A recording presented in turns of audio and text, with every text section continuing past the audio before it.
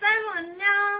스무 번째 생일 정말 정말 축하해. 나랑 같이 보내는 두 번째 생일인데 어, 이번에도 같이 보내서 정말 좋고 앞으로도 계속 평생 나랑 생일 같이 보냈으면 좋겠어. 지난 2년 동안 좋은 일도 많았고 안 좋은 일도 많았는데 앞으로는 좋은 일만 가득했으면 좋겠어. 어, 그리고 지금까지 내가 너 많이 힘들게 한 거 미안하고 앞으로는 정말 착한 여자친구가 될게.